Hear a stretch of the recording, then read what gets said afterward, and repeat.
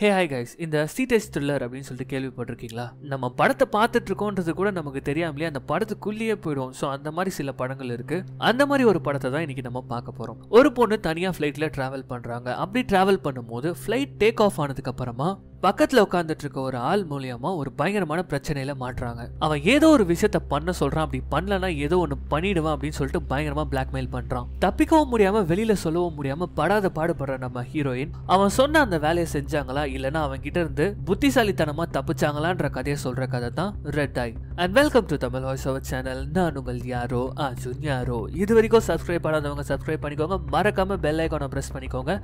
Follow பண்ணாதவங்க follow பண்ணிக்கோங்க. இப்போ நாம இந்த கதைக்குள்ள போயிடலாம். படத்தோட ஓப்பனிங் சீன்ல சில போட்டோஸ்லாம் காட்டுறாங்க. ஒரு பொண்ணு பார்க்க ஹாக்கி பிளேயர் மாதிரி இருக்காங்க. அங்க வந்து ஒருத்தர் வந்து அவருடைய பர்ஸை வச்சுட்டு போறாரு. அவர் போன அடுத்த செகண்ட் மர்மமான ஒரு கை வந்து அந்த பர்ஸை திருடிக்குது. இதை அப்படியே கட் பண்ணி சில பிஷர்ஸ் மேன் மாதிரி இருக்காங்க. அவங்க வந்து ஏதோ ஐஸ் பாக்ஸ் மாதிரி எடுக்கிறாங்க. அந்த ஐஸ் எல்லாம் தள்ளிட்டு பார்த்தா உள்ள ஒரு மெட்டல் பாக்ஸ் மாதிரி இருக்கு. அதை எடுத்துட்டு அவனுங்க எங்கேயோ கிளம்புறாங்க. அப்படியே கட் பண்ணா ஒரு பெரிய ஹோட்டல் இருக்கு. அதோட ப்ளூ பிரிண்ட்ஸை யாரோ பார்த்துட்டு இருக்காங்க. ஏதோ ஒரு பெரிய பிளான் பண்ணிட்டு இருக்காங்கன்னு மட்டும் நமக்கு தெரியுது. இப்போ அந்த ஹோட்டலை காட்டுறாங்க லக்ஸ் அட்லாண்டிக் அப்படின்ற ஒரு ஹோட்டல் இந்த ஹோட்டல்ல பாத்தீங்கன்னா ரிசப்ஷனிஸ்ட் கிட்ட வந்து ஒருத்தங்க பயங்கரமா சண்டை போட்டுட்டு இருக்காங்க ஒரு மாசத்துக்கு முன்னாடி நாங்க புக் பண்ணோம் ஏன் இல்ல அப்படின்னு சொல்லிட்டு. இவங்க பேர் வந்து சிந்தியா. இவங்களால இவங்களை வந்து கண்ட்ரோலே பண்ண முடியல. ஏன்னா புதுசா வேலைக்கு சேர்ந்திருக்காங்க போல இருக்கு. டக்குன்னு என்ன பண்றாங்கன்னா இவங்க ஒருத்தங்களுக்கு கால் பண்றாங்க. இவங்க தான் நம்ம படத்தோட ஹீரோயின் லிசா. இந்த மாதிரி சாரி லிசா நீங்க லீவ்ல இருக்கீங்க. எனக்கு தெரியும். இருந்தாலும் இங்க பாரு சிந்தியா லொடலுடன் பேசாத. நான் இருக்கேன் உனக்கு. உனக்கு என்ன ஹெல்ப் வேணுமோ கேளு அப்படின்னு சொன்ன உடனே அங்க நடக்கிறதெல்லாம் சொல்றாங்க. ஓ அவங்களா? அவங்க ரெகுலர் கஸ்டமர் ஆச்சு. பயங்கரமா கோவம் வேறப்படுவாங்க நான் சொல்ற மாதிரி பண்ணு. என் லாகினை போடு. எமர்ஜென்சிக்காக சில ரூம்ஸ்லாம் காலியா இருக்கும். அந்த ரூம்ஸ் அவங்களுக்கு கூட நான் சொல்றதை இப்ப அப்படியே சொல்ல அவங்க கிட்ட சாரி ஃபார் த இன்கன்வீனியன்ஸ் நீங்க வந்து தங்க போற ரெண்டு நாள் எங்க செலவு தான். அப்படின்றத சொல்லும் போது அவங்களும் அதே சொல்றாங்க. அவங்க வந்து பாத்தீங்கன்னா அமைதியா போயிடுறாங்க. சோ இப்படி இங்க இருந்துகிட்டே ஈஸியா வந்து அந்த சுச்சுவேஷன் ஹேண்டில் பண்றாங்க. லிசா வந்து பாத்தீங்கன்னா அந்த ஹோட்டல்லே வந்து ரொம்ப சீனியர் ஆஃபீஸர் மாதிரி. அவ்வளவு எக்ஸ்பீரியன்ஸ் இருக்கா அவங்களுக்கு. சோ அதனால ஈஸியா டேக்கிள் பண்ணிட்டாங்க. வேற ஏதாவது இருக்கான்ற மாதிரி கேக்குறாங்க.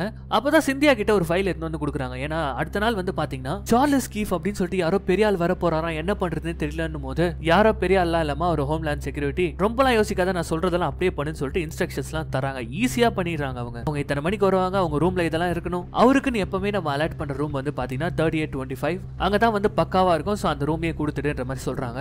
அசால்ட்டா ஹேண்டில் பண்ணிட்டு அடிச்சு பிடிச்சு அவங்க ஃபிளைட்டை பிடிக்கிறதுக்காக வராங்க. வந்து பார்த்தா தான் தெரியுது அவங்க ஃபிளைட் வந்து டிலே அந்த ஃபிளைட் பேர் தான் ரெட் ஐ இப்போ அப்படியே அவங்க அப்பாவுக்கு கால் பண்றாங்க. அப்பா என்னப்பா பண்ணிட்டு இருக்கேன்னு கேட்கும்போது சரி நீ எப்போ வரப்போற? அப்படின்றத கேட்கிறாரு அவரு. ஆக்சுவலி லிசா வந்து அவங்களுடைய பாட்டி இறந்ததுக்காக இப்போ வந்திருக்காங்க. இந்த இடத்துக்கு இங்க இருந்து அவங்க போனவங்க. ஊருக்கு. எங்கப்பா ஆல்ரெடி ஃபிளைட் டிலே ஆயிடுச்சான் நான் வந்துடுறேன் பார்த்து பத்திரமா இருங்கன்ற மாதிரி சொல்லிட்டு இப்போ ஃபிளைட் டிலே ஆனதுனால எல்லாருமே கிரௌட்ல நின்றுட்டு இருக்காங்க. நம்ம லிசா வந்து பாத்தீங்கன்னா அழகா புக்கு படிச்சுட்டே இருக்கும்போது ஒரு பாட்டி திரும்பி இந்த புக்ல இருக்க ஆர்த்தர் எனக்கு தெரியும் அவர்னா எனக்கு ரொம்ப பிடிக்கும் அப்படின்னு சொல்லிட்டு மொக்க போடுறாங்க. நம்ம லிசா வந்து பாத்தீங்கன்னா பயங்கரமான ஸ்வீட் ஆட் அவங்க என்ன சொல்றாங்கன்னா இந்த புக்கை நான் ஆல்ரெடி படிச்சுட்டேன். இதை வேணா நீங்க படிங்க படிச்சுட்டு கொடுங்கன்ற மாதிரில இங்க பேசிட்டே இருக்கும்போது பக்கத்துல ஒருத்தர் போயிட்டு அங்க ஏரோஸ்டஸ் கிட்ட பயங்கரமா சண்டை போட்டுட்டு இருக்காரு. என்ன நினைச்சிட்டு இருக்கீங்க? நாங்க காசு குத்து தானே வரோம் என்ன ஓசியில கூட்டு போறீங்களான்ற மாதிரி பயங்கரமா திட்டிட்டு இருக்காரு. அப்ப நம்ம ஹீரோயின் போயிட்டு அந்த சுச்சுவேஷனை டேக்கிள் பண்ணலாம் சொல்லிட்டு பேச்சு கொடுக்குறாங்க. ஆனா அந்த ஆள் வந்து ஓவரா பண்ணிட்டு நம்ம ஹீரோயின் கிட்டே ஜிம்புறாரு. அப்ப பின்னாடி ஒருத்தர் வந்து அப்படியே அவருடைய கையை பிடிச்சி ஒரு அமுக்கு அமுக்கி இங்க எல்லாருமே கடுப்புல தான் இருக்காங்க. வெளியில மழை பெஞ்சிட்டு இருக்கு வெதர் சரியில்லை அவங்க பதினெட்டு மணி நேரமா வேலை செஞ்சுட்டு இருக்காங்க புரிஞ்சுப்பீங்கன்னு நினைக்கிறேன் அப்படின்னு சொல்லிட்டு முறைக்கும் போது அந்த ஆள் வந்து அமைதியாயிராரு இப்ப நம்ம ஹீரோயின் திரும்பி தேங்க்ஸ் அப்படின்றத சொல்றாங்க. பரவாயில்லங்க இருக்கட்டும்ங்க. ஆனா நீங்க எப்படி வந்து ரொம்ப காமா பேசுனீங்க? அப்படின்னு கேட்கும்போது இல்லங்க நானும் ஹோட்டல்ல தான் ஒர்க் பண்றேன் அதனால தான் அப்படின்னு சொல்லிட்டு ஹீரோயின் சொல்றாங்க. இவங்க ரெண்டு பேருக்குள்ள ஒரு நட்பு மலர்ற மாதிரி இருக்கு. டக்குன்னு வந்து இவங்க ஃபிளைட் போர்டிங்காக எல்லாமே ரெடி பண்ணிடுறாங்க. ஸோ எல்லாருமே வந்து லான்ச்ல வெயிட் பண்ணிட்டு இருக்காங்க. அப்பதான் நம்ம ஹீரோயின் பாக்குறாங்க நம்ம போற ஃபிளைட்ல தான் இவன் இருக்கான் போல இருக்கே அப்படின்னு சொல்லிட்டு பார்க்க வேற அட்ராக்டிவா இருக்கானே அப்படின்னு சொல்லிட்டு யோசிச்சிட்டே இருப்பாங்க. அப்ப என்ன ஆகும்னு பாத்தீங்கன்னா ஒருத்தங்க காஃபி கொட்டுருவாங்க லிசா மேல. ஸோ அதனால போயிட்டு ரெஸ்ட் ரூம்ல கிளீன்லாம் பண்ணிட்டே இருக்காங்க. அப்பதான் ஒரு சீனை காட்டுறாங்க. அவங்க செஸ்ட்ல வந்து ஒரு சின்னதா ஒரு கீரல் மாதிரி இருக்கு. ஒரு தழும்பு. அதை பார்த்துட்டே ஒரு மாதிரி ஆகுறாங்க. அதுக்கப்புறமா சூப்பரா ட்ரெஸ் எல்லாம் போட்டுக்கிட்டு நேரா இவங்க கிட்ட வந்து உட்காடுறாங்க இங்க உட்காரலாமான்னு கேக்குறாங்க. தாராளமா உட்காரலாம். அப்படின்னு சொல்லிட்டு பேச ஆரம்பிக்கிறாங்க. மாறி மாறி ஜாலியா பேசிக்கிறாங்க. இவன் பேர் ஜாக்குன்னு சொல்றான் இவங்க பேர் லிசான்னு சொல்றாங்க. பையன் கொஞ்சம் ஸ்மார்ட்டா இருக்கிறதுனால நம்ம ஹீரோயினும் விழுந்துடுறாங்க. இப்போ இவங்க அப்படியே பேசிட்டே இருக்கும்போது அங்க டிவியில வந்து பாத்தீங்கன்னா ஒரு நியூஸ் போயிட்டு இருக்கு. அதுல வந்து பாத்தீங்கன்னா இந்த ஹோம்லேண்ட் செக்யூரிட்டி ஹெட் தான் பேசிட்டு இருக்காரு. இந்த மாதிரி தீவிரவாதங்கள் வந்து அதிகமாயிட்டே இருக்கு. அதுக்கெல்லாம் பயங்கரமான பதிலடி கொடுப்பேன் நான். இதுக்கப்புறம் ஒருத்தனாலும் தலை வாங்க முடியாதுன்ற மாதிரிலாம் பேசிட்டு இருக்காரு. இப்போ என்னன்னு பார்த்தா அனௌன்ஸ் பண்றாங்க இந்த மாதிரி ஃபிளைட் வந்துருச்சு எல்லாரும் போர்ட் பண்ணிக்கலாம் அப்படின்னு சொல்லிட்டு அங்க இருக்கிற எல்லாருமே கிளாப்லாம் பண்றாங்க. பாவம் அவ்வளவு நேரமா வெயிட் பண்ணிட்டு இருந்திருக்காங்க போல இருக்கு. சரி சரிங்க ஓகேங்க ஃப்ளைட் வந்துருச்சு. உங்களை பார்த்ததுல சந்தோஷம் அப்படின்னு சொல்லிட்டு ரொம்பவும் டீசெண்டா நடந்துக்கிறாரு ஜாக்கு சரி பாய் அப்படின்னு சொல்லிட்டு நம்ம ஹீரோயினும் கிளம்பிடுறாங்க. இப்போ ஃப்ளைட் குள்ள போர்ட் பண்ண போனோம் அவங்க அப்படியே போயிட்டே இருக்காங்க. அப்ப பார்க்கும்போது இவங்க சீட்டுக்கு பக்கத்துல அவன் உட்காந்துட்டு இருக்கான் ஆல்ரெடி ரொம்ப சர்ப்ரைஸ் ஆகிறாங்க என்னங்க இது? அடிக்கடி மீட் பண்ணிட்டே இருக்கும். ஏங்க நீங்க போய் தானே சொல்றீங்க அப்படின்னு சொல்லிட்டு ஜாக் கேக்குறாங்க. உடனே உங்க டிக்கெட்டும் காட்டுறாங்க. தோ பாடுறா சரி சரி வாங்க வாங்க உட்காருங்கன்ற மாதிரி அவர் சொல்றாரு. இப்ப ஜாக்கே கேக்குறாரு என்ன நீங்க ஃபாலோ பண்றீங்களா? ஏதாவது பிளான் பண்ணிருக்கீங்களா? என்னன்ற மாதிரி கேக்குறாரு. ஹலோ என்ன காமெடியா அப்படின்னு சொல்லிட்டு அவங்க கேட்க சரி சரி. அப்படின்னு சொல்லிட்டு செட்டில் ஆகிறாங்க என்னதான் வந்து ஃபிளைட்ல எத்தனை தடவை வேணாலும் போனாலும் அந்த டேக் ஆஃப் பண்ற மூமெண்ட் மட்டும் நிறைய பேர் பயந்துட்டுலாம் இருப்பாங்க. அந்த மாதிரி நம்ம ஹீரோயின் பயந்துட்டே இருக்கும்போது டக்குன்னு நம்ம ஜாக் என்ன பண்றாருன்னா உங்களை பத்தி சொல்லுங்க. உங்க பேர் என்ன? உங்க அப்பா பேர் என்ன? அவர் என்ன பண்றாரு? இந்த மாதிரி டீட்டெயிலாம் கேட்கும்போது அவங்களும் வந்து எல்லா டீட்டெயில்ஸும் சொல்லிட்டு இருக்காங்க. ஸோ ஃபிளைட்டும் வந்து மேலே போயிடுச்சு. இப்போ வந்து தேங்க்ஸ் சொல்றாங்க. என்ன டிஸ்ட்ராக்ட் பண்ணதுக்கு ரொம்ப தேங்க்ஸ் அப்படின்னு சொல்றாங்க. சேச்சே நான் அதெல்லாம் பண்ணல. உண்மையிலேயே உன்னை பற்றியும் உங்க அப்பா பத்தியும் தெரிஞ்சுக்கணும் தான் அதை பண்ணேன். அப்படின்னு சொல்லும்போது இப்போ அப்படியே மியூசிக்கே மாறுது. ஏன் அப்படி அப்படின்னு கேட்குறாங்க இல்ல அது என் வேலையில ஒரு பார்ட்டு தான் சார் இருந்தாலும் நீங்க பயங்கரமா காமெடி பண்றீங்க சார். என்ன சார் வேலை உங்களுது? அப்படின்னு இவங்க கேக்குறாங்க. அதுக்கு ஜாக் வந்து என்ன சொல்கிறான்னா நான் ஒரு பெரிய அசாசின் குரூப்பை சேர்ந்தவன். கவர்மெண்ட்ஸ்ல பெரிய அத்தாரிட்டியில இருக்கிற ஆட்களை எல்லாம் போட்டு தள்ளனோட என்ன தான் கூப்பிடுவாங்க? இதை கேட்டு பயங்கரமா சிரிக்கிறாங்க. ஓ நீ ஒரு ஸ்பையா அப்படின்றாங்க. சே ஸ்பை கிடையாது. அப்ப இந்த ஜேம்ஸ் பாண்ட் மாதிரி ஏஜென்ட்டா அதுவும் கிடையாது. அவன் அப்படி சொ- அப்ப நீயே சொல்லிட்டு என்ன? இப்பதானே கொஞ்ச நேரத்துக்கு முன்னாடி சொன்ன அப்படின்னு சொல்லிட்டு முகமே மாறுது. ஓகே. அப்படின்னா நீ இந்த ஃபிளைட் ஹைஜாக் பண்ண போறியா அப்படின்னு கேட்பாங்க. ஆக்சுவலி நான் ஃபிளைட் எல்லாம் ஹைஜாக் பண்ணல. உன்னை தான் ஹைஜாக் பண்ணியிருக்கேன். அப்படின்றத சொல்லும் போது இப்போ அப்படியே நம்ம கான்சென்ட்ரேஷன்லாம் படத்துக்குள்ள வரும். நம்ம ஹீரோயினுக்கு ரொமான்டிக்காக இருந்த மூடு வந்து அப்படியே மாறி இப்போ ஹாரராக மாறுது. உனக்கு சார்லஸ் கீஃப் தெரியுமா? இந்நேரத்துக்கும் ஹோட்டலுக்கு தான் வந்துட்டு இருப்பாரு அவரை தான் நாங்கள் போட்டு தள்ள போகிறோம் அதுக்காக நீ ஹெல்ப் பண்ண போற. அப்படின்னு சொன்ன உடனே கண்ணெல்லாம் கலங்குது. அதெல்லாம் நான் பண்ண மாட்டேன் அப்படின்னு சொல்லிட்டு கோமா சொல்லிட்டே இருக்கும்போது அப்படி பண்ணலன்னா உங்க அப்பா செத்து போயிடுவாரு. அப்படின்னு சொல்லும்போது இந்த கான்வர்சேஷன் பாத்தீங்கன்னா அந்த ஃபிளைட்ல கச்ச கச்சன்னு பேசிட்டு இருப்பாங்க. இவங்க ரெண்டு சீட்ல இவங்க ரெண்டு பேர் கேட்கற மாதிரி மட்டும் பேசிட்டு இருப்பாங்க. எப்படி இருக்கும் பாருங்க ஹீரோயினுக்கு ரொம்பவே கேஷுவலா அதெல்லாம் பண்ணிட்டு இருப்பான். ஜாக் டக்குன்னு என்ன பண்றாங்கன்னா பட்டன் அமுக்கி வேலைக்கு ஃப்ளைட் அட்டண்டரை கூப்பிடுறாங்க. அவங்க வர லேட் ஆகுது போல இருக்கு. நம்ம ஹீரோயின் நின்னுக்கிட்டு வாங்க வாங்கன்னு சொல்லிட்டு கூப்பிட்டுட்டே இருக்காங்க. அழுதுகிட்டே அட உட்காரமா வரேன் அப்படின்ற மாதிரி அட்டண்டர் சொல்றாங்க. இப்போ ஒரு மிரட்டு மிரட்டுவான் பாருங்க. அவங்க அப்பாவுடைய பர்ஸை போடுவான். உங்க அப்பாவுடைய தானே? அந்த பர்ஸை பார்த்தோன்னே இவளுக்கு ஒரு மாதிரி கண்ணெல்லாம் கலங்குது. இப்போ ஒரு அட்ரஸ் சொல்றான். இந்த அட்ரஸ்ல தானே இருக்காரு. என்ன பண்ணிட்டு இருக்காரு தெரியுமா? சாப்பிட்டு முடிச்சுட்டு காமெடி ஷோ பார்த்துட்டு இருக்காரு. என் ஆள் வெளியில தான் உட்காந்துட்டு இருக்கான் ஒரு கார்ல நல்லா பாட்டு கேட்டுன்னு கத்தியை தீட்டிட்டு உட்காந்துட்டு இருக்கான். இப்போ இங்க ஏதாவது சொதப்புச்சுன்னா உங்க அப்பா காலி அப்படின்னு சொல்லும் போது அப்படியே பொறுமையா உட்காடுறாங்க அழுதுகிட்டு. இப்போ அந்த ஃப்ளைட் அட்டெண்டர் வராங்க. லிசா உனக்கு எக்ஸ்ட்ரா தலைக்காணி ஏதாவது வேணுமா? சாரிங்க பாவம் இன்னைக்கு ரொம்ப மோசமான டே உங்க பாட்டி இறந்துட்டாங்க. ஒரு பில்லு இருந்தா கொடுத்துட்டு போங்களேன். அப்படின்னு சொல்லிட்டு ரொம்ப ஸ்வீட்டா பேசுறான். சரி சார் நான் எடுத்துட்டு வந்து தரேன்ற மாதிரி அவங்க போயிடுறாங்க. இந்த பயம் இருக்கணும் உனக்கு. நான் சொல்றதை கரெக்டா பண்ணினா எந்த ஒரு ப்ராப்ளமும் இல்லாம நீ போயிடலாம் அப்படின்னு சொல்லிட்டு மிரட்டும் போது அழுதுகிட்டே நம்ம ஹீரோயினுக்கு என்ன பண்றதுன்னே தெரியல. என் அப்பாவை நீ ஏதாவது பண்ணிட்டியா அப்படின்னு கேட்கும்போது இது வரைக்கும் நான் எதுவும் பண்ணல. நான் சொல்றதை மட்டும் நீ பண்ணிட்டீன்னா நீ பாட்டு போயிட்டே இருக்கலாம் அப்படின்னு சொல்லிட்டு என்ன பண்றானா நம்ம லிசா சொன்னாங்கன்னா எல்லாமே அந்த ஹோட்டல்ல நடக்கும். அதனால அவன் என்ன கேக்குறானா? அந்த சார்லஸ் கீஃப் அப்படின்ற ஒரு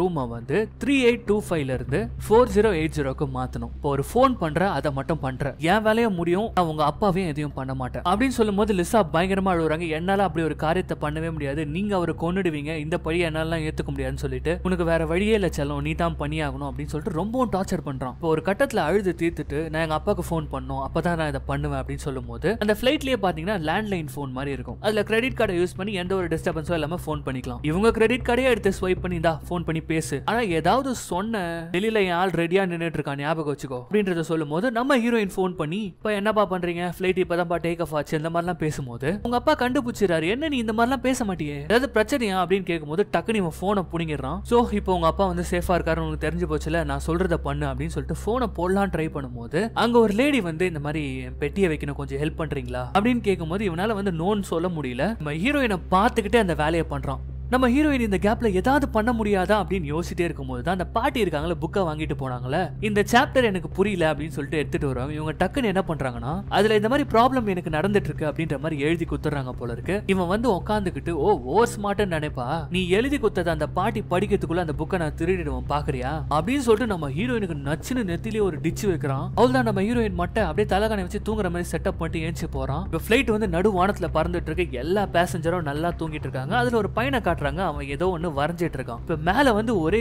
இடி புயல் போல இருக்கு அதனால ஃபிளைட் ஆடுது. இதில் நம்ம ஹீரோயின் ஏந்துக்கிறாங்க. பக்கத்தில் உட்காந்து நீ அந்த புக்கை படிச்சிட்டு இருக்கான். அட பாவி சொன்ன மாதிரி புக்கு உன் கையில் இருக்கு அந்த பாட்டி அப்படின்னு சொல்லிட்டு திரும்பி பார்க்குறாங்க அவங்க வாயை பொழுதுங்கன்னு ஆன்னு பார்த்துட்டு இருக்காங்க. இப்போ கொஞ்ச நேரத்துலேயே அவங்க ஏஞ்சிக்கிட்ட உடனே தான் இவங்களுக்கு வந்து மனசு வந்து அமைதியாகுது. அவங்க அங்கே ஓகேவா இருக்காங்க அப்படின்னு சொல்லிட்டு. இப்போ டக்குன்னு தண்ணி எடுத்து கொடுக்குறான். ஒழுங்காக இந்த மாத்திரையை போட்டுக்கிட்டு வேலையை ஆரம்பி அப்படின்னு சொல்லிட்டு ஃபோனை கொடுக்குறான். பாரு லேட் பண்ணாத. உங்க அப்பா இப்போ தான் காஃபி குடிச்சிட்டு பத்துட்டு இருக்காரு சோஃபால ரெண்டே செகண்ட்ல ஒரு காலி ஆயிடுவாரு அப்படின்னு சொன்ன உடனே சரின்னு சொல்லிட்டு என்ன பண்றாங்கன்னா இவங்க கால் பண்றாங்க. சோ சிந்தியா கிட்ட பேசவும் ஆரம்பிக்கிறாங்க. அப்ப ஃபிளைட் நல்லா வேகமா போயிட்டே இருக்கிறதுனால இடி புயலமா இருக்கிறதுனால அங்க வந்து கனெக்ஷன் கட் ஆகுது. இப்போ நம்ம ஹீரோயின் அப்படியே பேசி சமாளிக்கிறாங்க இந்த மாதிரி இந்த ரூம்ல இருந்து அந்த ரூமுக்கு மாத்துமா? அப்படின்னு சொல்லிட்டே இருக்கும்போது இவ நேரம் ஜாக் வந்து பக்கத்துல ஒருத்தர் வந்து போன்ல பேசிட்டு இருப்பாரு. அவர் போன்ல வந்து நோ சிக்னல் இந்த மாதிரி கட் ஆயிருக்குன்னு வந்த உடனே கண்டுபிடிச்சிருவோம் இப்போ போனை புடிங்கி வச்சுட்டு ஏதோ பண்ண போறான்னு நினைக்கும் போது அந்த இடத்துல ஏரோஸ்டர்ஸ் வராங்க. இந்த போன் எப்போ ஒர்க் ஆகும் அப்படின்றது கேட்கும்போது இப்போ வந்து புயல்ல போயிட்டு இருக்கோம். கொஞ்சம் காத்து கிளியர் ஆனதுக்கு அப்புறமா தான் சிக்னல் கிடைக்கும்ன்ற மாதிரி சொல்றாங்க. இப்போ என்ன பண்ண போற? உங்ககிட்ட பேக்கப் பிளான் இல்லைல்ல. போன் லைனே கிடைக்கலனா என்ன பண்ண போற அப்படின்னும் போது அப்ப நாளை காலைல உங்க அப்பாவை நீ சவப்பட்டியில தான் பார்க்கணும் அப்படின்னு சொன்னோன்னு மிரண்டுறாங்க இவங்க. இப்போ அப்படியே கட் பண்ணிட்டு அவங்க அப்பாவை காட்டுறாங்க. அவர் உட்காந்துட்டு இருக்காரு. அப்பதான் வெளியில ஏதோ சவுண்டா இருக்கிறத போய் பாக்குறாரு போய் பார்க்கும்போது புதுசா இங்க ஒரு கார் நின்றுட்டு இருக்கே அப்படின்ற மாதிரி அவர் பாக்குறாரு இப்போ இங்க ஃபிளைட்ல காட்டுறாங்க. போன் கனெக்ஷன் இன்னும் வந்து வரல. சோ இவங்க வந்து கேட்டுட்டு இருக்காங்க. எதுக்கு அவரை நீ கொலை பண்ண போற? அவர் நல்ல மனுஷன் தானேன்னும் போது என்ன பண்றது? நல்ல மனுஷங்களுக்கு தான் நிறைய கெட்டது நடக்கும். இப்போ உனக்கு நடக்கலையான்ற மாதிரிலாம் கேட்டு கலாச்சிட்டே இருக்கும்போது அப்ப என்ன சொல்றாங்கன்னா எனக்கு பாத்ரூம் போகணும் அப்படின்னு சொல்றாங்க. என்னால இவ்வளவுதான் முடியும் அப்படின்னு சொல்லிட்டு ஒரு பாட்டில் எடுத்து நின்றுறான் என்ன விளையாடுறியா? எனக்கு முதல்ல பாத்ரூம் போகணும். நான் போயிட்டு வந்து அந்த காலை பண்றேன் அப்படின்னு சொன்ன உடனே சரி போ. ஆனா ஏதாவது ஏடா கூடமா யோசிக்கிறேன்னு சொல்லிட்டு மாட்டிக்காத என்கிட்ட. அவ்வளவுதான். இந்த தடவைலாம் நான் பார்த்துட்டு இருக்க மாட்டேன் அப்படின்னு சொல்லி மிரட்டி அனுப்புறான். சோ உண்மையிலேயே உங்களுக்கு என்ன பண்றதுன்னு தெரியல. சோ அந்த ரெஸ்ட் ரூம்குள்ள யாரோ இருக்காங்க. போயிட்டு நின்னுட்டு அழுதுட்டு இருக்காங்க. அப்ப அந்த ஃபிளைட்ல ஒரு பொண்ணு வந்துட்டு இருப்பா. அவ ரெஸ்ட் ரூம்காக வந்து நின்னுட்டு இருக்கும்போது அவன் நோட்டீஸ் பண்றா. இவங்க டிஸ்டர்ப்டா இருக்காங்க. இப்போ உள்ள போன லிசா பயங்கரமா கதறி கதறி அழுதுட்டு இருக்காங்க. என்ன பண்றதுனே அவங்களுக்கு தெரியல. சரி ஓகே இங்க இங்கேருந்து நம்ம முதல்ல வெளியே போய் ஆகணுமே அப்படின்னு சொல்லிட்டு ஃபேஸ் வாஷ் பண்ணும்போது அந்த சோப் வந்து பாக்குறாங்க கையில. இப்போ டக்குனு இவங்க ஒரு ஐடியா பண்றாங்க. இந்த கேப்ல பாத்தீங்கன்னா இவனுக்கு வந்து அந்த ஃபோன் கனெக்ஷன் வந்து ரீஸ்டோர் ஆயிடுச்சுன்னு சொல்லிட்டு வருது. இந்த சின்ன பொண்ணு நின்னுட்டு இருக்கா வெளியில லிசா வரதுக்காக இவன் வந்து நேராக என்ன பண்றான்னா இந்த பொண்ணுக்கு முன்னாடி டோரை தட்டலான்னு பார்க்கும்போது கரெக்டா லிசா ஓபன் பண்றாங்க அப்போ பார்த்துறான் இவங்க கண்ணாடியில இந்த மாதிரி இந்த எயிட்டீன் எஃப் சீட்ல இருக்கிறவங்க கிட்ட பாம் இருக்கு அப்படின்னு சொல்லிட்டு அப்பதானே யாராச்சும் வந்து விசாரிப்பாங்க.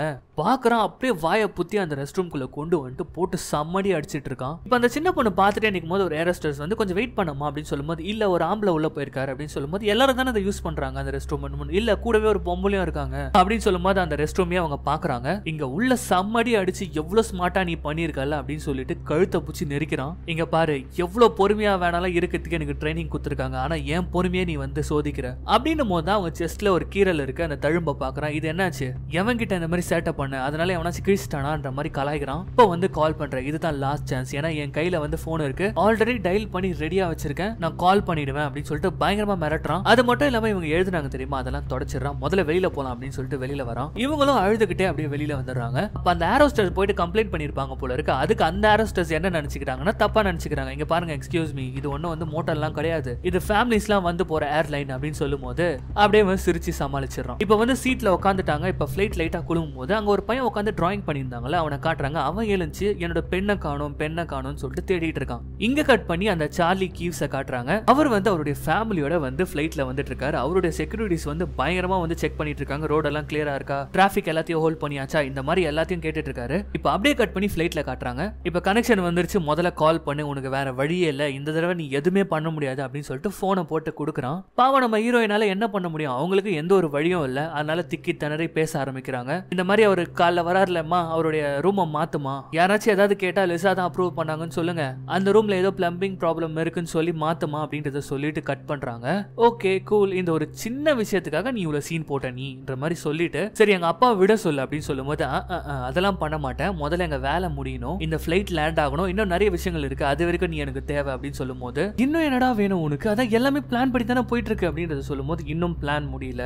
இந்த பிளான் எப்போ முடியும்னா அந்த கீவ்ஸும் அவங்க ஃபேமிலியும் அழிஞ்சதுக்கு அப்புறம் தான் முடியும். இப்போ இவங்களுக்கு தூக்கி வாரி போடுறதுக்கு என்னடா? அந்த கீவ்ஸை மட்டும் தான் சாவடிப்பேன்னு சொன்னீங்க. இப்போ ஃபேமிலியுமா அப்படின்னு சொல்லிட்டு கதற ஆரம்பிக்கிறாங்க. வாயை மூடிக்கிட்டு அமைதியா இருக்க அப்படின்றத சொல்லும்போது இங்க கட் பண்ணி ஹோட்டலை காட்டுறாங்க. அந்த சார்லி கீவ்ஸ் வந்துட்டாரு. அவங்களோட செக்யூரிட்டிஸ்லாம் வந்து பாத்தீங்கன்னா எல்லாத்தையும் வந்து அரேஞ்ச் பண்ணிட்டே இருக்கும் போது இப்போ சிந்தியா ஓடி வராங்க. ஓடி வந்து சார் இந்த மாதிரி உங்க ரூம் மாத்தியாச்சு அப்படின்னு சொல்லும்போது இந்த செக்யூரிட்டிஸ் எல்லாம் ஒத்துக்க மாட்டாங்க எப்படி முடியும்? எப்படி பாசிபிள் அது? அப்படி இப்படின்னு கத்திட்டு இருக்காங்க. அப்போ அந்த கீவ்ஸ் வராரு. வந்து என்ன நடக்குது இங்க? யார் இதை அப்ரூவல் பண்ணுதுன்ற மாதிரி கேட்கும்போது இந்த மாதிரி லிசா தான் பண்ணாங்கன்னும் போது ஓ லிசாவா? லிசா கரெக்டா தான் பண்ணிருப்பா. எனக்கு லிசா தெரியும்பா. வாங்கப்பா போலாம் அப்படின்னு சொல்றாரு. So, லிசாக்கான வேல்யூ இங்க தான் நமக்கும் தெரிய வருது. அதனால தான் அவங்கள ட்ராப் பண்ணியிருக்கான். இப்போ அப்படியே கட் பண்ணி ஃப்ளைட்டை காட்டுறாங்க. இப்போ லிசாக்கு ஏதாவது பண்ணியே ஆகணும். ஏன்னா இப்போ வந்து ஒரு ஃபேமிலியே சாக போகுது அப்படின்னு சொல்லிட்டு என்னென்னலாம் பண்ண முடியும்னு யோசிச்சுட்டே என்ன பண்ணுறாங்கன்னா எனக்கு வயிறெல்லாம் வலிக்குது அப்படின்னு சொல்லிட்டு குனிஞ்சுக்கிறாங்க. ஹே இப்போ நீ என்ன பிளான் பண்ணாலும் ஒன்றாகாது அங்கே ஆல்ரெடி எல்லாமே ரெடின்ற மாதிரி சொல்லிட்டு இருக்கான். என்னன்னு பார்த்தா நம்ம லிசா அவங்க இடுப்பில் வந்து ஒரு பையன் பெண்ணு காணும் பெண்ணு காணும் சொல்லிட்டு இருந்தா தெரியுமா? அந்த பெண்ணை வந்து சொல்லி வச்சிருக்காங்க.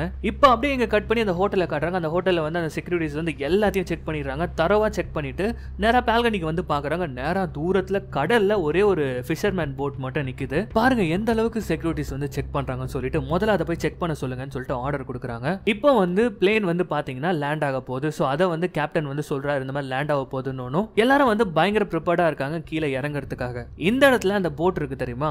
அந்த போட்டுக்கு வந்து போலீஸ்லாம் வந்து செக் பண்ணிட்டு இருக்காங்க. பார்த்தா அது நார்மலா ஒரு சாதாரணமா வந்து ஒரு ஃபிஷர்மேன் போட் தான். சந்தேகத்துக்கு இடமா ஒண்ணுமே இல்லை அப்படின்றத வந்து இவங்க சொல்றாங்க. அவ்வளவுதான் எல்லாமே முடிஞ்சு போச்சு. இப்போ என்ன யோசிச்சுட்டு இருக்க? ஒண்ணுமே பண்ண முடியாது. ஆமா உன் கழுத்துல அந்த தழும்பு எப்படி வந்து வந்ததுன்ற மாதிரி கேட்கும்போது கொஞ்ச நாளைக்கு முன்னாடி என்ன ஒரு திருடன் வந்து என் கழுத்துல கத்தி வச்சு என்ன ராபரி பண்ணா அப்பதான் விழுந்த தழும்பது அப்ப எனக்கு ஒரே ஒரு விஷயம் தான் தோணிட்டு இருந்தது. என்ன பயந்து போயிருந்தியா அப்படின்னு கேட்கும்போது இல்ல. இதுக்கப்புறமா இந்த மாதிரி ஒரு இன்சிடென்ட் நடந்ததுன்னா அந்த இன்சிடென்ட்ல சும்மா மட்டும் இருந்துடக்கூடாது அப்படின்னு சொல்லிட்டு அந்த பெண் எடுத்து அப்படியே தொண்டையிலேயே சொருவுறாங்க அது மட்டும் இல்லாம அவனுடைய போனையும் எடுத்துக்கிறாங்க. இப்ப கரெக்டா வந்து ஃபிளைட் வேற லேண்ட் ஆயிடுச்சு ஓகேவா இவங்க என்ன பண்றாங்கன்னா அவசர அவசரமா ஓடுறாங்க. இன்னும் டோரியை ஓபன் பண்ணல. ஒரு நிமிஷம் இருமா அப்படின்னு சொல்லிட்டு அவங்க சொல்லிட்டே இருக்கும்போது இவன் என்ன பண்றான்னா தொண்டையில அப்படியே அந்த பெண்ணுடைய கீழே விழுந்து விடாம துரத்திட்டு வரான். இந்த கேப்ல நம்ம ஹீரோயின் என்ன பண்றாங்கன்னா டோர் ஓபன் ஆன உடனே என்ன பண்ணிடுறாங்கன்னா அங்கிருந்து எஸ்கேப் ஆயிடுறாங்க. உடனே ஏரோஸ்டஸ் வந்து கால் பண்ணிடுறாங்க. இந்த மாதிரி ஒருத்தங்க அட்டாக் பண்ணிட்டு ஏர்போர்ட்குள்ள தப்பிச்சு வந்துட்டு இருக்காங்க அப்படின்னு சொல்லிட்டு. இவன் என்ன பண்றான்னா தொண்டையில அந்த பெண்ணை பிடிச்சிட்டு அப்படியே நடந்துட்டே இருக்கான். அங்க பாக்குறான் அந்த பையன் மச்சான் பெண்ணை காணோம் நீ அவன் தொண்டையில இருக்கடா அப்படின்னு சொல்லிட்டு நேரா ரெஸ்ட் ரூம்குள்ள போயிட்டு அந்த பெண்ணை பாக்குறான். அப்படியே அதை புடுங்கி போட்டு இப்போ வேக வேகமா வெளியில செம கோமா வந்துட்டே இருக்கும்போது அந்த சின்ன பொண்ணு இருப்பா தெரியுமா? அவன் என்ன பண்றான்னா குறுக்கால பேகை விட்டு அவனை விழ வைக்கிறா.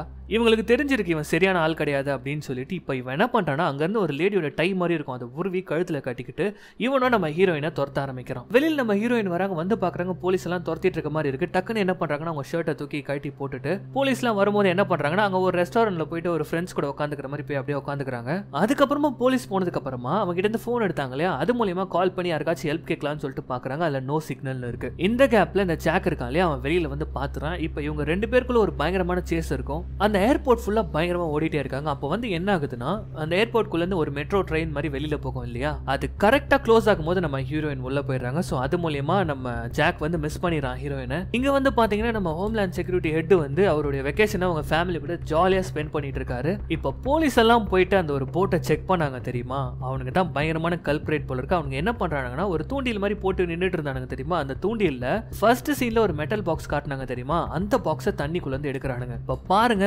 படமே சும்மா பரபரப்பா போயிட்டு இருக்கோம் நம்ம ஹீரோயின் என்ன பண்றாங்கன்னா அடிச்சு பிடிச்சி ஏர்போர்ட்டை விட்டு வெளியில வராங்க. அங்க ஒரு கார்ல இருந்து அப்பதான் ஒருத்தங்க இறங்குவாங்க. டக்குன்னு அதுல ஏறிக்கிறாங்க. செம்ம ஃபாஸ்டா காரை ஓட்டிட்டு வராங்க. அப்படி ஓட்டிட்டு வரும்போது என்ன பண்றாங்கன்னா டக்குன்னு ஹோட்டலுக்கு கால் பண்றாங்க. லக்கிலி அதை சிந்தியா தான் எடுக்கிறா. அவ போன் எடுத்து எங்க இருக்கீங்க? எப்படி இருக்கீங்க? இதெல்லாம் கேட்டுட்டு இருக்கா. சிந்தியா நான் சொல்றத முதல்ல கேளு. அந்த கீவ்ஸ் எங்க இருக்காரு அப்படின்னு கேட்கும்போது அவர் ரூம்ல இருக்காரு. நீங்க தான் மாத்த சொன்னீங்களேன்னு போது இப்போ எனக்கு எக்ஸ்பிளைன் பண்றதுக்குலாம் டைம் இல்ல. டக்குன்னு ஃபயர் அலாம் ஆன் பண்ணு. முதல்ல ஓடி போய் அவங்க பாடி கார்டு கிட்ட கோட் ரெடுன்னு சொல்லு. ஓடு ஓடு முதல்ல ஓடு அப்படின்னு சொல்லிட்டு சொல்றாங்க. நம்ம சிந்தியா வந்து ஃபயர் அலாம் ஆன் பண்ணிட்டு ஓட ஆரம்பிக்கிறாங்க. இங்கே வந்து பார்த்தீங்கன்னா அந்த மெட்டல் பாக்ஸ்குள்ளேருந்து ஒரு பெரிய ராக்கெட் லான்ச்சர் எடுக்கிறானுங்க இவனுங்க. ஓகே நம்ம இங்கே வந்து இன்ஃபார்ம் பண்ணிட்டோம். இப்போ நம்ம அப்பாவை காப்பாற்றணும்னு சொல்லிட்டு அவங்க அப்பாவுக்கு ஃபோன் போகிறாங்க அவருக்கும் போது ஆனால் கரெக்டாக அவர் எடுக்கும் போது இங்கே பேட்டரியிலோ ஃபோன் ஆஃப் ஆகிடுது இங்கே வந்து பார்த்தீங்கன்னா சிந்தியா மேலே ஓடி வந்து எல்லா விஷயத்த சொல்கிறாங்க என்னது லிசா சொன்னாங்களா அப்படின்னு சொல்லிட்டு டக்குன்னு என்ன பண்ணுறாங்கன்னா செக்யூரிட்டிஸ்லாம் வந்து உள்ளே போந்து அந்த கீவ்ஸையும் அவங்க ஃபேமிலி முதல்ல வெளியில் வாங்கன்ற மாதிரிலாம் சொல்லிட்டே இருக்கும்போது அவங்க அங்கேருந்து அடிப்பானுங்க பாருங்க ராக்கெட் லான்ச்சர் கரெக்டாக இவங்க ஃபேமிலியை வந்து அந்த செக்யூரிட்டிஸ் காப்பாற்றி வெளியில் கூட்டு வரதுக்கும் அந்த ரூம் வெடிச்சு செதறதுக்கும் கரெக்டாக இருக்கும். ஓகே இப்போ இவரை காப்பாத்தியாச்சா? செம்ம வேகமாக காரை ஓட்டிக்கிட்டு நேராக அவங்க வீட்டுக்கு போகிறாங்க நம்ம ஹீரோயின் அப்பதான் பார்க்குறாங்க அந்த கொலகாரன் கையில் கன்னை வச்சுட்டு அவங்க அப்பா வரணுன்றதுக்காக காலிங் பெல் அடிச்சுட்டு ரெடியாக நின்றுட்டு இருக்கான் அதை பார்த்துட்டு காரோட ஸ்டேரிங்கை திருப்பி ஃபுல் ஆக்சிலேட்டர் கொடுத்து விடுவாங்க பாருங்க வண்டியை. தூக்கிட்டு போயிட்டு அப்படியே சொருவிடுவாங்க அந்த கொலகாரனை. இப்போ நேராக உள்ளே போறாங்க அப்பா அப்பான்னு கத்திட்டே இருக்கும்போது அவங்க அப்பா வர என்னம்மா ஆச்சு? என்ன ஆச்சு? உட்கார முதல்ல அப்படின்ற மாதிரி சொல்லிட்டே இருக்கும்போது ரொம்ப பெரிய கதை ஒரு நிமிஷம் இருங்கன்னு சொல்லிட்டு நேராக சிந்தியாவுக்கு கால் பண்ணுறாங்க என்ன ஆச்சு? அப்படின்னு கேட்குறாங்க நாங்கள் அவரை காப்பாத்திட்டோம் அப்படின்னு சொல்லும் போது தான் இப்பதான் பெருமூச்சே விடுறாங்க அவங்க. இப்போ அப்பா அப்படின்னு சொல்லிட்டு திரும்பி பாக்குறாங்க பார்த்தா அவங்க அப்பாவை காணோம். இந்த ஜாக் அந்த இடத்துக்கு வந்துட்டான். ஸோ இப்போ பேசவே முடியல. ஆனா அவன் வந்து பாத்தீங்கன்னா ஒரு மாதிரி பேசிட்டு இருக்கான். தொண்டையை பிடிச்சிக்கிட்டீங்க வேலையே முடியல. அதுக்குள்ள நீ எங்க போறேன்னு சொல்லிட்டு. அப்ப நம்ம ஹீரோயின் சொல்றாங்க இதோ பாரா தம்பி நீ வந்த வேலைலாம் முடியாது. அங்க அவரை காப்பாத்திட்டோம். அவ்வளவுதான் நீ காலி அப்படின்னு சொல்லும் போது அப்பனா இந்த விஷயத்த நான் பர்சனலா எடுத்துக்கிறேன். உன்னை காலி பண்ற முதல்ல அதுக்கப்புறமா உங்க அப்பா அங்க மயக்கத்துல இருக்கான் தெரியுமா? அவனை உன்னை பார்க்க வச்சு அவனை காலி பண்றேன் அப்படின்ற மாதிரி சொல்லும் போது தம்பி என்னை கார்னர் பண்ணுறதுக்கு இது ஒன்று நீ பிளான் பண்ண ஃப்ளைட் கிடையாது இது என் வீடுறா அப்படின்னு சொல்லிட்டு ஓட ஆரம்பிக்கிறாங்க. இவனும் முடியாம துரத்திட்டே இருக்கான். இப்போ அவங்க ஹீல்ஸால தொடையிலே ஒன்று வச்சு எனக்கடா டிச்சு கொடுக்குற இதடா வாங்கிக்கோடா டிச்சுன்னு சொல்லிட்டு ஒரு டிச்சு ஒன்று அடிக்கிறாங்க. சுத்திக்கின்னு வந்து கீழே விழுவார ஒரு டக்குன்னு அந்த ஏஜென்ட்டோட கத்தியை எடுத்துக்கிட்டு என்ன பண்ணுறான்னா கொலவெறியோட அந்த வீடு ஃபுல்லாக ரூம் ரூமாக சுற்றிட்டு இருக்கான். நம்ம ஹீரோயின் என்ன பண்ணுறாங்கன்னா அவங்க பெட்ரூமுக்கு போயிட்டு எதையோ ஒன்றத்தை வந்து பயங்கரமாக தேடிட்டு இருக்காங்க. என்னன்னு பார்த்தா ஒரு ஹாக்கி பேட்டை வெளியில் எடுக்கிறாங்க. ஃபர்ஸ்ட் சீனில் பார்த்தோம் இவங்க வந்து ஒரு ஹாக்கி பிளேயர் இப்போ அதை எடுத்துக்கிட்டு என்ன பண்ணுறாங்கன்னா போலீஸ்க்கு கால் பண்ணுறாங்க இந்த மாதிரி வந்து